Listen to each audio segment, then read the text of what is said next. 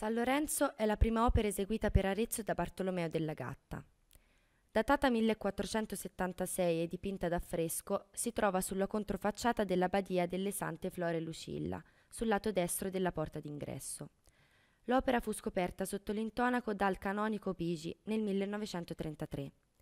Questo affresco, di grande gusto formale e coloristico, essendo datato, è utilissimo a ricostruire l'itinerario artistico del pittore camaldolese. Piero di Antonio Dei, meglio noto come Bartolomeo della Gatta, anche grazie a una biografia dedicata a Ida Vasari in entrambe le edizioni delle vite, nacque a Firenze nel 1448, dove si formò nella bottega di Andrea del Verrocchio. Dopo aver preso i voti come abate camaldolese, ha trascorso quasi tutta la sua vita ad Arezzo, dove è morto nel 1502. Influenzato dall'arte di Verrocchio ed interprete della lezione di Piero della Francesca, ha saputo raggiungere un linguaggio individuale, che ha lasciato una traccia importante nel territorio aretino, anche grazie alla sua bottega, nella quale si formarono Domenico Pecori, Matteo Lappoli e Fra Mariano di Giovanni. San Lorenzo è l'unica figura rimasta di una serie di santi ricordati dal Vasari, fatti con molta grazia, con buona pratica e dolcezza. Il soggetto dell'opera è rappresentato in posizione stante mentre sorregge una grata, simbolo del suo martirio, con la mano sinistra. Una piuma e un manoscritto sono retti invece dalla mano destra.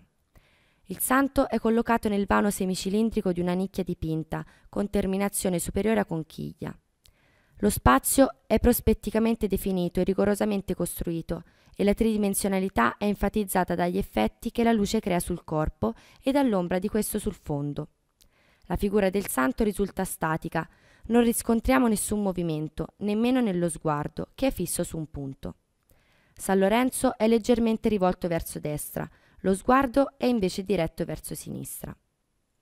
I colori predominanti sono le diverse tonalità del rosso, il verde, il nero dei capelli e della grata e i colori chiari della nicchia.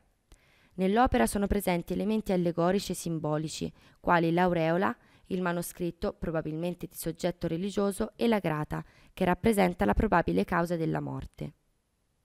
Questo affresco è una testimonianza dell'evoluzione artistica di Della Gatta e mostra una delle sue più significative abilità, il saper rappresentare le figure con una profonda adesione alla realtà e una grande espressività, così come si rileva nei suoi dipinti degli anni Ottanta, dalle figure degli affreschi della Cappella Sistina a quelle delle tavole di Castiglion Fiorentino, Madonna col Bambino e i santi Pietro, Paolo, Giuliano e Michele Arcangelo nella collegiata di San Giuliano e San Francesco stigmatizzato nella Pinacoteca Comunale, a quelle dell'affresco nella chiesa di Santa Chiara città di Castello, rappresentante Madonna col Bambino e i santi Martino e Benedetto.